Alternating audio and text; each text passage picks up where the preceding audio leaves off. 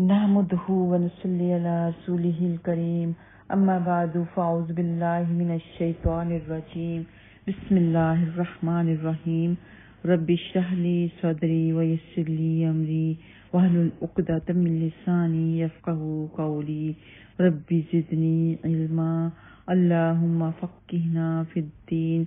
ربي يسر ولا تؤثر وتمم بالخير. آمين يا رب العالمين. السلام علیکم ورحمۃ اللہ وبرکاتہ۔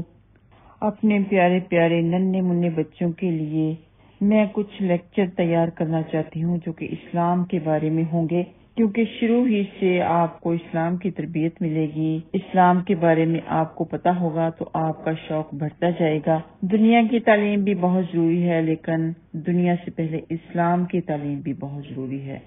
تو میرے پیارے بچوں، جب بھی آپ پڑھنا، لکھنا یا کچھ بھی سننا شروع کریں تو پہلے ضرور پڑھیں، رب شہلی صدری ویسلی امری لسانی قولی۔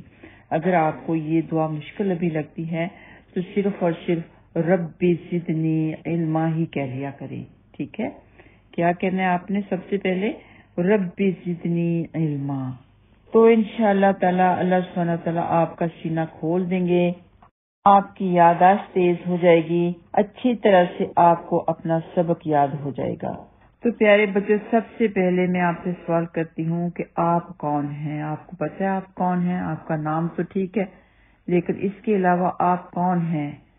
آپ کا دین کیا ہے؟ آپ مسلمان ہیں پیارے بچوں۔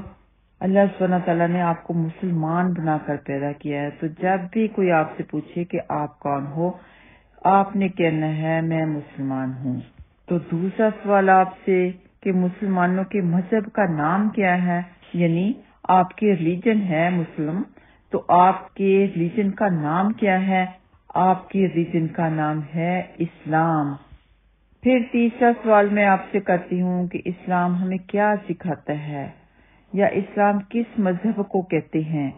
تو اس کا جواب پیارے بچوں یہ ہے کہ اسلام یہ سکھاتا ہے کہ اللہ سبحانہ تعالیٰ ایک ہے بندگی کے لائق وہی ہے اور حضرت محمد مصطفیٰ صلی اللہ علیہ وسلم اللہ سبحانہ تعالیٰ کے بندے اور رسول ہیں۔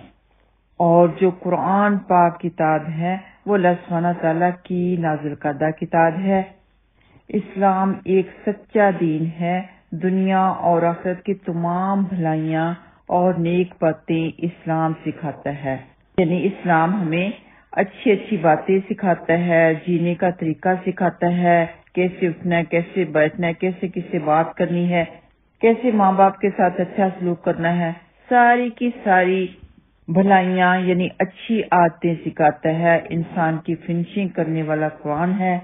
تو انشاءاللہ اللہ تعالی ہر ایک ایپیسوڈ میں میں آپ سے تین سوال پوچھا کروں گی اور خود ہی جواب دے دیا کروں گی۔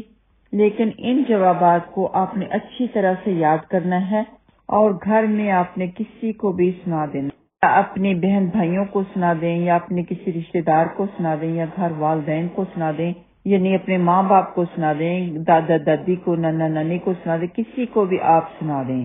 تو پیارے بچوں، جیسے کہ آپ لوگوں کی ابھی عمر چھوٹی ہے، تو یہ چھوٹی چھوٹی باتیں ہیں تو بہت بڑی، کیونکہ یہاں سے ہی ہمارا اسلام شروع ہوتا ہے۔ کہ ہمیں پتہ ہونا چاہیے کہ ہم مسلمان ہیں، ہمارا دین اسلام ہے، ہماری کتاب قرآن پاک ہے، ہمارے نبی محمد مصطفیٰ صلی اللہ علیہ وسلم ہیں۔ تو ان شاء اللہ تعالیٰ اس سے آگے آگے جا کے پھر آپ لوگوں کو یہ بھی بتایا جائے گا کہ نبی پاک صلی اللہ علیہ وسلم کی کتنی بیٹیاں تھیں، کتنی ازواج محتارات یعنی بیویاں تھیں۔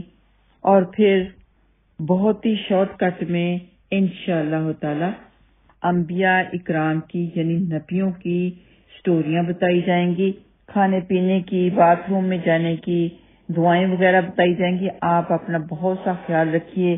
اللہ سبحانہ تعالیٰ سب کو نیک بنائے، والدین کے فرما بردار بنائے۔ السلام علیکم ورحمۃ اللہ وبرکاتہ۔